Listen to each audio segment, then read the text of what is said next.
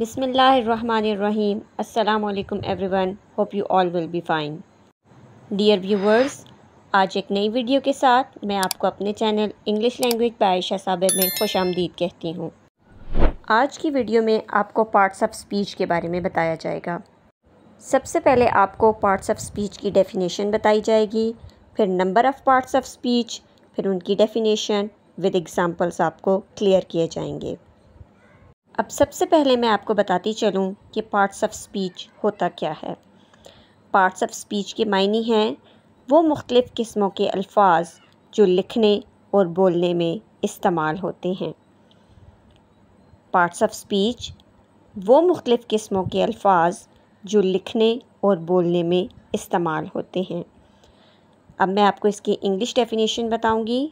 The parts of speech are the classes into which all the words of the English language are categorised parts of speech English ज़ुबान के वो तमाम अल्फाज हैं जिनको मुख्तलिफ़ क्लासेस में कैटेगराइज़ किया गया है। इसकी एक सादा सी डेफिनेशन ये भी हो सकती है। All the English words are divided into eight groups according to the work they do in a sentence and each group is called parts of speech simply अगर हम पार्ट्स ऑफ़ स्पीच को discuss करें तो ये कहा जाएगा कि English ज़बान के वो तमाम अल्फाज जिनको हम मुख्तलिफ़ क्लासेस में डिवाइड करते हैं, उनके काम के मुताबिक उनको पार्ट्स ऑफ़ स्पीच कहा जाता है। Now there are eight parts of speech according to traditional theory there are eight parts of speech English language में आठ पार्ट्स ऑफ़ स्पीच हैं. Noun pronoun verb adverb adjective preposition, conjunction, interjection. Article को भी parts of speech में पहले consider किया जाता था, लेकिन अब उसको एडजेक्टिव की एक काइंड समझा जाता है, जिसकी वजह से उसको पार्ट्स ऑफ़ स्पीच में शामिल नहीं किया गया, और मौजूदा पार्ट्स ऑफ़ स्पीच की तादाद आठ है। आइए सबसे पहले पहला पार्ट्स ऑफ़ स्पीच नाउन को डिस्कस करते हैं। नाउन जिसको उर्दू में इसम कहा जाता है। नाउन उर्दू में इसको इसम कहते हैं और इसकी एक बिल्कुल ही सिंपल ट्रेडिशनल जो एक रवायती डेफिनेशन है, वो है noun is the name of a person place or a thing हमेशा स्कूल कॉलेज में आपको बताया जाएगा that noun is a name of a person place or a thing यानी इसम किसी भी शख्स, चीज़ या जगह के नाम को कहते हैं। सिंपली सिंपली आप ये भी कह सकते हैं naming words are called noun ठीक है? यानी कोई भी चीज़ है, उसका जो नेम होता है, उसको हम इसम कहते हैं। For example you can say city town music love office Quaid Azam यानी किसी भी चीज़ का नाम अब ज़ाहिर है दुनिया में बहुत सी चीज़ें और हर चीज़ का कोई ना कोई नाम होता है और उस नाम को हम कहते हैं नाउन अब मैं कुछ सेंटेंसेस आपके साथ डिस्कस करूँगी और मैं बताऊँगी कि इसमें नाउन क्या है। जैसे पहले हमारे पास एग्ज़ाम्पल है my mother works in a school मेरी अम्मी स्कूल में काम करती हैं। Now in this sentence what is noun अब इस सेंटेंस में नाउन क्या है? इसमें दो हमारे पास नाउन हैं। मदर स्कूल मदर अम्मी स्कूल यानी कि स्कूल का नेम है। तो ये दोनों हमारे पास नाउन है, किसी चीज़ का नेम है। इसी तरीके से अगर हम दूसरी एग्ज़ाम्पल देखते हैं, उसमें है she can not play the guitar अब इसमें नेम क्या है? गिटार ठीक है? गिटार किसी चीज़ का नेम है तो ये हमारे पास आ जाएगा नाउन तीसरी एग्ज़ाम्पल अगर हम लें she works in a garden daily वो रोज़ाना बाग में काम करती हैं। अब इस एग्ज़ाम्पल में नाउन यानी नेम क्या है हमारे पास? गार्डन। सो तो व्यूअर्स आपको समझ आ गई होगी कि नाउन हमारे पास क्या होता है। सिंपली हमने कहना है naming words are called noun यानी किसी भी शख्स, चीज़ या जगह के नाम को, या आप सिंपली कह सकते हैं कि किसी भी चीज़ का नाम, वो हमारे पास क्या होता है? नाउन होता है। अब जो दूसरा पार्ट्स ऑफ़ स्पीच है, वो है हमारे पास प्रोनाउन अब प्रोनाउन दो वर्ड से मिलकर बना है. प्रो का मतलब होता है फॉर प्रो फॉर अब अगर हम इन दोनों का मतलब देखें तो मतलब बनेगा इसका प्रोनाउन फॉर नाउन यानी नाउन के लिए. यानी वो अल्फाज जो हम नाउन के लिए इस्तेमाल करते हैं, वो हमारे पास प्रोनाउन होते हैं. अगर हम इसकी डेफिनेशंस की तरफ़ चलें तो हमारे पास आ जाता है words which are use for noun are called pronoun यानी वो अल्फाज जो कि नाउन के लिए इस्तेमाल होते हैं, उनको हम प्रोनाउन कहते हैं, या आप इस तरह भी कह सकते हैं words used instead of a noun are called pronoun वो अल्फाज जो नाउन के बजाय इस्तेमाल होते हैं, उनको हम प्रोनाउन कहते हैं। जैसे अब हमारे पास डिफरेंट एग्जांपल्स हैं. He she it they you we ये सिंपल एग्जांपल्स हैं प्रोनाउन की. अब इनमें जो है अब देखते हैं, अगर हम सेंटेंस में देखें they are good at playing basketball वो बास्केटबॉल खेलने में अच्छे हैं. अब यहाँ पे हम लोगों ने क्या यूज़ किया है प्रोनाउन दे कौन सा प्रोनाउन यूज़ हुआ है इस सेंटेंस में? दे। दे हमने नेम्स की जगह इस्तेमाल किया है। अब दूसरी एग्जांपल की तरफ़ चलें, जैसे हमारे पास है you have to come to my birthday you you का वर्ड जो है वो हमने किसी नेम की जगह पर इस्तेमाल किया है तो ये भी हमारे पास प्रोनाउन है कि आपने मेरी बर्थडे पर आना होगा। तीसरा है शी हैज़ मैनी चॉकलेट्स अब शी का वर्ड हमने किसी भी गर्ल की नेम की जगह इस्तेमाल किया है। तो माइंड में रखना है आपने प्रोनाउन को कि प्रोनाउन क्या? प्रो का मीनिंग सबसे पहले आपने माइंड में रखना है कि प्रो का मतलब होता है फॉर और नाउन प्रोनाउन फॉर नाउन यानी नाउन के लिए। तो नाउन के लिए हमने कौन से वर्ड्स यूज़ किए? जैसे मैं एक टीचर हूँ, ठीक है? तो मेरे लिए आप नाउन के बजाय कौन सा वर्ड यूज़ करेंगे? आप मुझे यू भी कह सकते हैं। आप मेरे नेम की बजाय, ठीक है? आप मेरी जगह मेरे नेम के बजाय शी का वर्ड भी इस्तेमाल कर सकते हैं। तो ये क्या हैं? प्रोनाउन हैं। तो जो नेम की जगह इस्तेमाल होंगे, उन वर्ड्स को हम कहेंगे प्रोनाउन इसके बाद हमारे पास आ गया तीसरा part of speech and that is verb तीसरा पार्ट ऑफ़ स्पीच हमारे पास आ गया वर्ब वर्ब को उर्दू में कहते हैं फेल किसी काम का करना या होना। In English we can say action words are called verb यानी जो काम, ऐसे अल्फाज जो किसी काम को शो करते हैं, जो किसी एक्शन के बारे में बताते हैं, वो हमारे पास होते हैं verb you can take an example go eat play set sing तो ये सब हमारे पास क्या हैं? वर्ब हैं। आना, जाना, खेलना, बैठना, उठना, ये सब हमारे पास वर्ब हैं। अगर सेंटेंस में हम एग्ज़ाम्पल्स देखें तो हमारे पास एग्ज़ाम्पल आती है David is writing a novel David क्या कर रहा है? लिख रहा है। और क्या लिख रहा है? Novel David is writing a novel तो इस एग्ज़ाम्पल में राइटिंग हमारे पास क्या है? वर्ब वो क्या कर रहा है? लिख रहा है। दूसरी एग्ज़ाम्पल देखें। They are selling their house अब यहाँ पर हमारे पास वर्ड है सेलिंग बेचना। वो अपना घर बेच रहे हैं। एक्शन है। राइटिंग भी एक्शन है। सेलिंग भी एक्शन है। तीसरा हमारे पास आ जाता है यू आर कमिंग अब कमिंग ये भी एक्शन है। तो मैंने आपको पहले भी बताया था, आना, जाना, खाना, पीना, खेलना, उठना, बैठना। यानी जिसमें एक्शन शो हो रहा होता है, जिसमें हम कोई काम कर रहे होते हैं, कोई फेल कर रहे होते हैं, उसको हम कहते हैं वर्ब वर्ब के बाद आइए पढ़ते हैं हम चौथे पार्ट्स ऑफ़ स्पीच एडवर्ब के बारे में. Adverb is a fourth parts of speech और जैसे कि इसके नेम से ही ज़ाहिर हो रहा है एड वर्ब यानी वर्ब में कोई चीज़ ऐड करना वर्ब में कोई चीज़ शामिल करना. यानी फेल में हम किसी चीज़ को शामिल कर रहे हैं.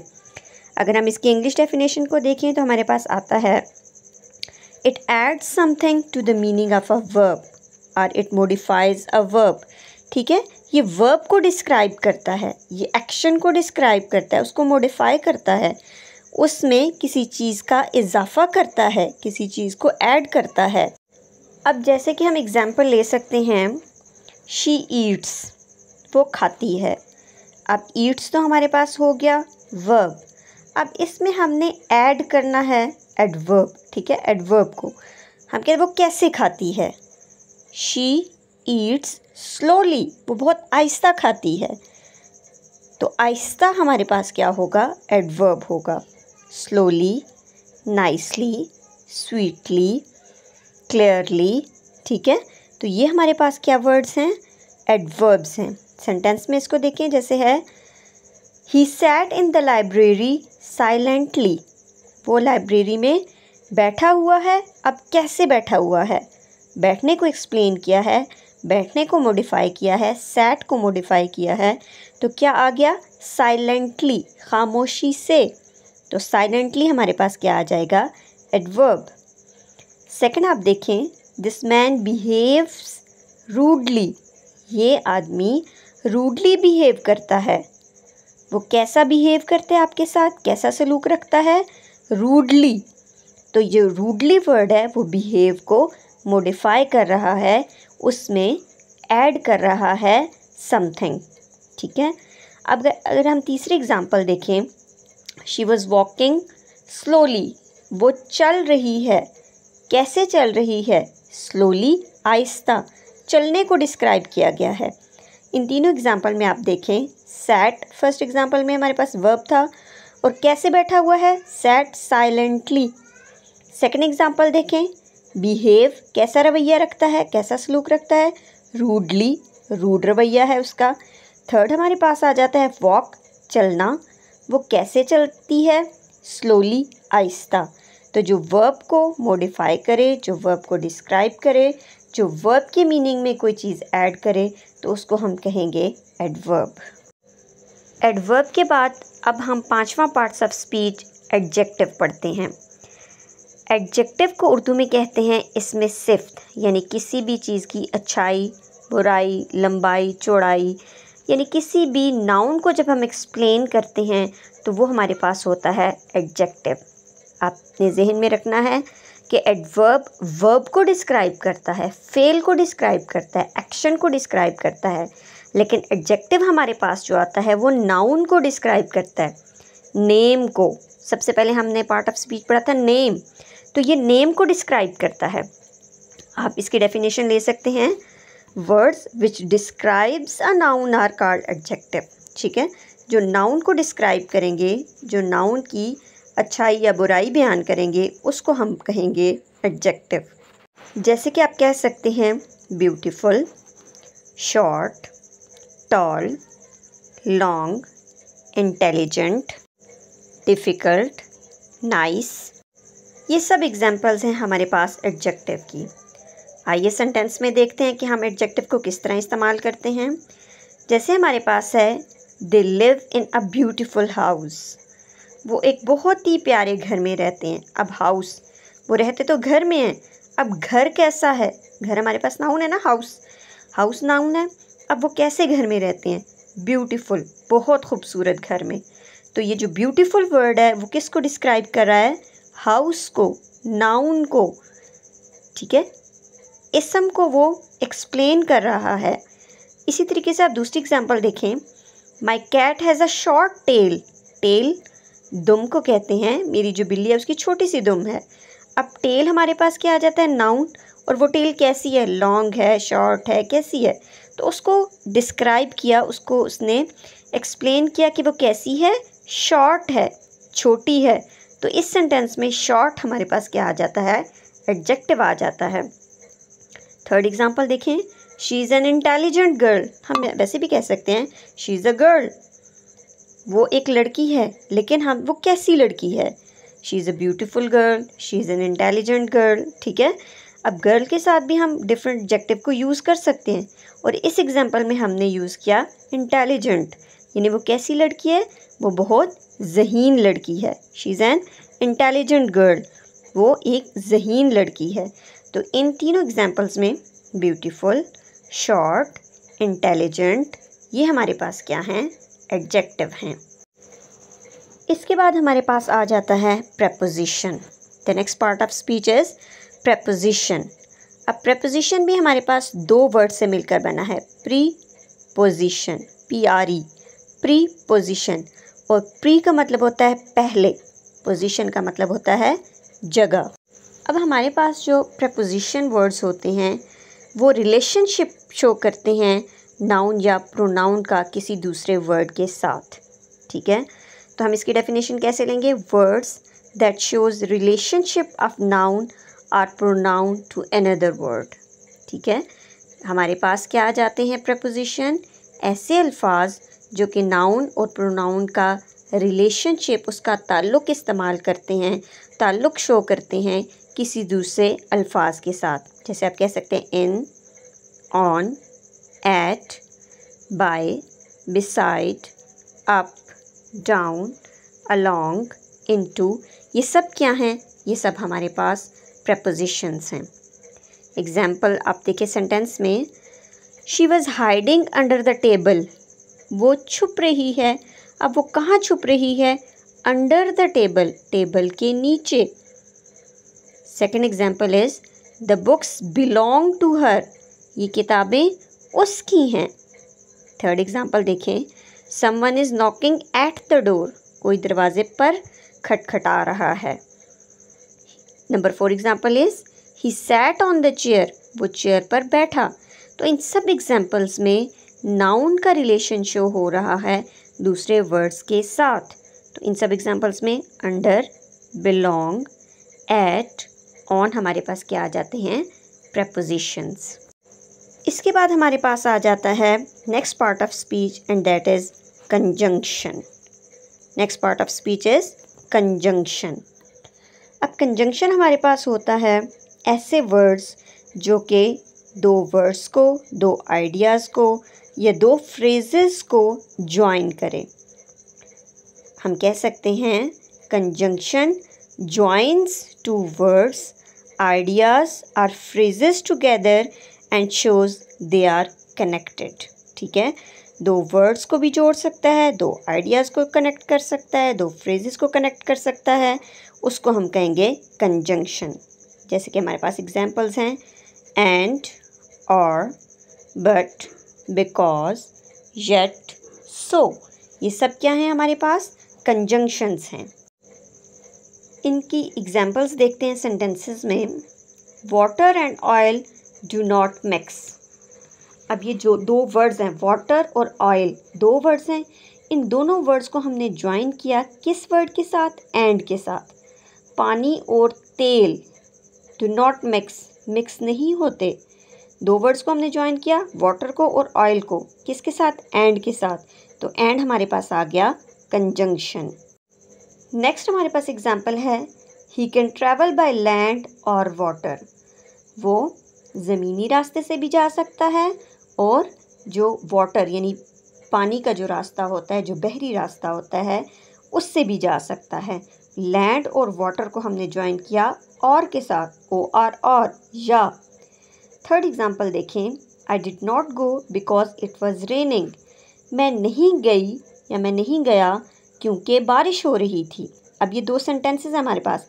आई डिड नॉट गो मैं नहीं गया। इट वॉज़ रेनिंग बारिश हो रही थी। इन दोनों सेंटेंसेस को हमने ज्वाइन किया किस वर्ड के साथ? बिकॉज़ के साथ। तो दो सेंटेंसेस को ज्वाइन किया बिकॉज़ के साथ।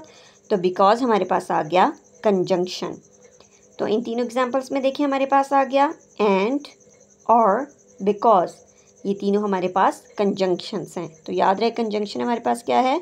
जो दो वर्ड्स दो आइडियाज़ या दो फ्रेजेस या दो सेंटेंसेस को आपस में ज्वाइन करें अब आखिरी पार्ट्स ऑफ़ स्पीच के बारे में जानते हैं और वो है interjection the last part of speech is interjection. Interjection are the words that shows sudden or strong emotions. Interjection वो words होते हैं जो हमारे सडन या स्ट्रॉन्ग इमोशंस को शो करते हैं, जो हमारी फीलिंग्स को शो करते हैं, हमारे जज्बात को शो करते हैं अचानक अगर हम खुशी महसूस करते हैं, हम गम महसूस करते हैं या हैरान होते हैं तो हम कौन से वर्ड्स इस्तेमाल करते हैं? जैसे हो सकता है, अलास, आउच, हुर्रा जिप्पी तो ये हमारे पास क्या हैं? सारे वर्ड्स इंटरजेक्शन हैं।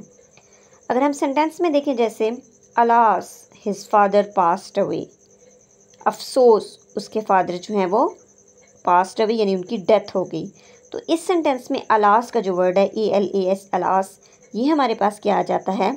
इंटरजेक्शन सेकेंड एग्ज़ाम्पल देखें आउच इट इज़ पेनफुल जैसे होता है ना समटाइम कोई इंजेक्शन लग जाता है, ठीक है, किसी को तो एकदम से उसको होता है कि मुझे दर्द हो रहा है। तो आप आउच अचानक आप कहते हैं सडन आप अपनी फीलिंग्स को शो करते हैं।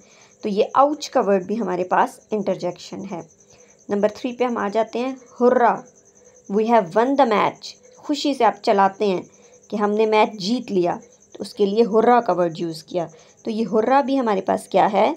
इंटरजेक्शन है। और याद रहे कि ये जितने भी इंटरजेक्शंस होते हैं, जैसे अलास, आउच, हुर्रा, इनके बाद हम मार्क ऑफ़ एक्सक्लेमेशन को शो करते हैं। ठीक है? इनके बाद मार्क ऑफ़ एक्सक्लेमेशन लगाना मस्ट होता है। तो वो वर्ड्स जो हमारी स्ट्रॉन्ग फीलिंग्स को या सडन फीलिंग्स को, इमोशंस को शो करते हैं उनको कहा जाता है इंटरजेक्शन डियर व्यूवर्स आज की वीडियो में आपको ये eight parts of speech clearly with definition and examples explain किए गए हैं। उम्मीद है कि आपको वीडियो पसंद आई होगी और आपका पार्ट्स ऑफ़ स्पीच से रिलेटेड उसकी डेफिनेशन और एग्जांपल्स से रिलेटेड जो कॉन्सेप्ट है वो क्लियर हुआ होगा। मज़ीद वीडियो के लिए मेरे चैनल को लाइक और सब्सक्राइब कीजिए।